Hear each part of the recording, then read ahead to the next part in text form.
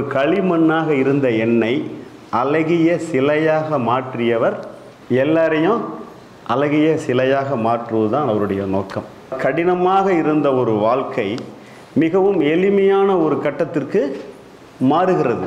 பிரச்சனைகளை சுமந்து கொண்டு அல்லல் உருகிறோம் அல்லவா?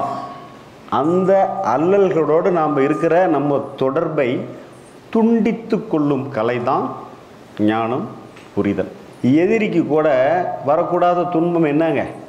மன நோய்.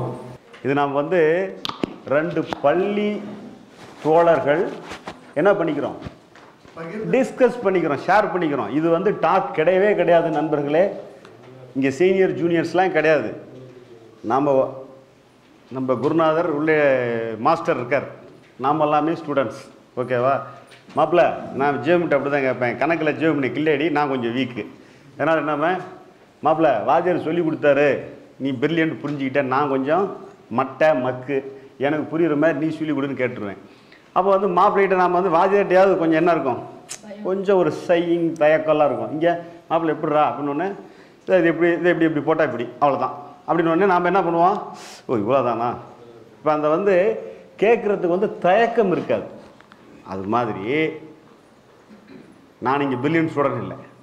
சாதாவுக்கு சாதா மிக ஆவரேஜாக இருந்து ஐயாவோட ஞானத்தால் பிரில்லியன் களிமண்ணாக இருந்த இருக்கிறேனே என்னால அழகிய சிலையாக. மாற்றியவர் குருநாதர். ஓகேவா? என்ன மட்டுமா? எல்லாரையும் அழகிய சிலையாக மாற்றுவது தான் அவருடைய நோக்கம். வந்திருக்கிற அவதாரத்தின் நோக்கம் அது மட்டுமே. சரியா? அதனால் நாம் வந்து நம்மளுடைய அறிவெல்லாம் கீழே போட்டு நீயே கதின்னு சரணடைஞ்சிட்டா நீங்கள் எல்லாம் போகும்போது அற்புதமான சிலைகளாக இல்லம் திரும்பி செல்வீர்கள். மிகப்பெரிய வேறு மிகப்பெரிய பாக்கியம் அவர் கிடைச்சது. அவர் வாழும் காலத்தில் வாழ்வது நாம் செய்த புண்ணியம் முதல்ல. அவர் கருத்தை இங்கே எத்தனையோ கோடி பேர் இருக்கான். அதில் அவர் கருத்தை நாம் சிந்திக்கிறோம் எடுத்து. அது நம்ம செஞ்ச மிகப்பெரிய ரெண்டாவது புண்ணியம். அதுக்கு பிறகு அவர் சொன்னதை புரிஞ்சிக்கிட்டு நம்ம வாழ்க்கையில் அப்ளை பண்ணி அதனால் நம்ம பலன் பெறுகிறோம். அப்படின்னா அது என்னங்க? நம்ம கடினமாக இருந்த ஒரு வாழ்க்கை மிகவும் எளிமையான ஒரு கட்டத்திற்கு மாறுகிறது. அப்படின்னா உங்களுக்கு புரியுது இல்லை இதுவெல்லாம் வெயிட்டு தாங்கும்பலடாப்பா அப்படின்னு சொன்ன வாழ்க்கை வெயிட்டு மாறல. இந்த வெயிட் இஸ் சேம் உள்ள அந்த வெயிட்டை வந்து சுமந்துக்கிட்டு இருந்தோம்ல அதை என்ன பண்ணிட்டோம்? தரையிறக்கி வைத்து விட்டோம். புரியுதுங்களா நான் சொல்கிறது உள்ளே வந்து உள்ள அந்த வெயிட்டோட நமக்கு இருந்த பாரத்தோட இருந்த அட்டாச்மெண்ட்லேருந்து என்ன ஆயிக்கிறோம்? டெட்டாச் ஆகிறோம். புரியுதுங்களா? மன இதில் நாம் வந்து பிரச்சனைகளை சுமந்து கொண்டு அல்லல் உருகிறோம் அல்லவா?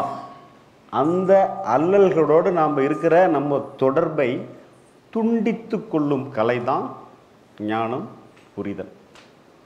புரியுதுங்களா? இப்போ நான் சொல்கிறது உங்களுக்கு புரியுது தானே? யாருக்கும் புரியலையா? உள்ளுக்குள்ள மைண்ட் ரீதியாக நாம் வச்சுருக்கிற அட்டாச்மெண்ட்ஸ்லேருந்து டிட்டாச் ஆகிறது தான் அண்டர்ஸ்டாண்டிங் சரியா? இப்போ எல்லாருக்கும் பிரச்சனை உடம்புலையா மனசுலையா? சிம்பிளாக வச்சுக்கோ. மனசு உடம்புலையும் பிரச்சனை இருக்குது அதுக்கு பேர் ஃபிசிக்கல் பெயின் இன்னொன்று மனசில் பிரச்சனை இருக்குது. அதுக்கு பேர் மென்டல் பெயின் என்ன சொல்லுவாங்க? எதிரிக்கு கூட வரக்கூடாத துன்பம் என்னங்க? மன நோய்? ஏன் சொல்லுவான்?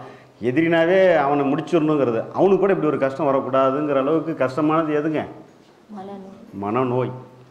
அதாவது மனநோய்னா மனசில் சுமந்து கொண்டிருக்கக்கூடிய மனோரீதியான பாரங்கள். புரியுதுங்களா? அதிலிருந்து உங்களை விடுவிக்க வந்திருப்பவர் தான் பகவத்தையா. அவர் வந்து ஒரு நாற்பது ஆண்டுகள் அரும் பாடுபட்டு தன்னுடைய வாழ்க்கையே முழுக்க அர்ப்பணித்து கண்டுபிடிச்ச ஃபைன் ஃபில்டர் அதை வந்து எளிமைப்படுத்தி ஒரு நம்ம என்ன பண்ணுறோன்னா ஒரு ஜூஸ் சாப்பிட்ருக்குறோம் இல்லையா?